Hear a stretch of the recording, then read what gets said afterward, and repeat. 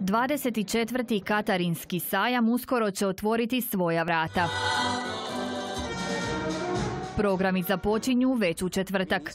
Otvorenje sajma je u četvrtak 21. u 10 sati za posjetitelje, a svečano otvaranje je u 21. u 12 sati. E, za četvrtak, e, četvrtak je tradicionalno posvećen djeci.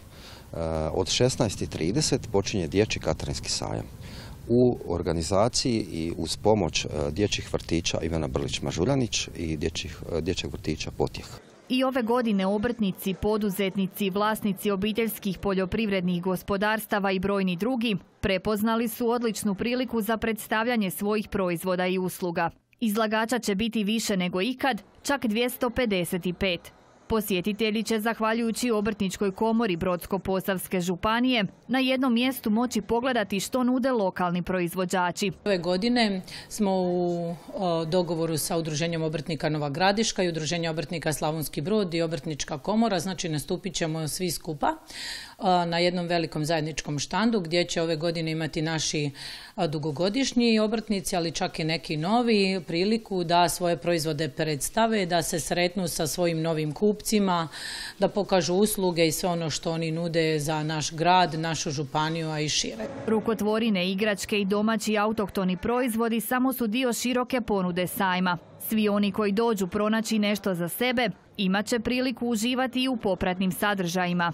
Uz kulturno-zabavne i folklorne programe koji će se održavati tijekom vikenda, svakoga dana održavat će se i gastromanifestacije. Ove godine možda imamo i najjaču gastromanifestaciju, ona se zove tradicionalno kuhajmo slavonski. E, ove godine, I ove godine e, su to e, jela od slatkovodne ribe u organizaciji Bifea Lavi.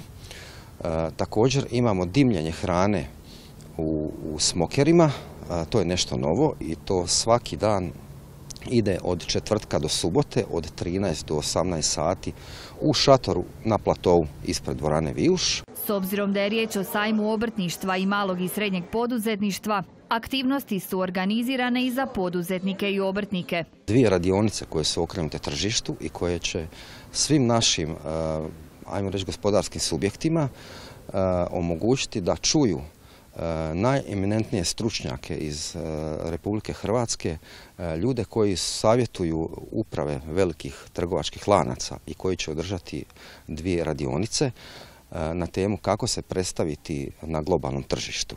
Glavni organizator sajma je grad Slavonski Brod, a izvršni organizator Brod Turist.